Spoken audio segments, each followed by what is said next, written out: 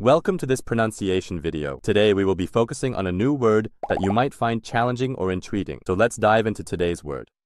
허락 없이, which means without permission in Korean. let's say it all together.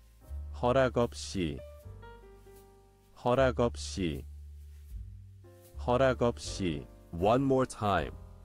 허락 없이 허락 없이 허락 없이 Thank you for joining us on this adventure in pronunciation. Remember, language is a journey, not a destination. Keep exploring, experimenting, and expanding your linguistic horizons. We'll see you next time.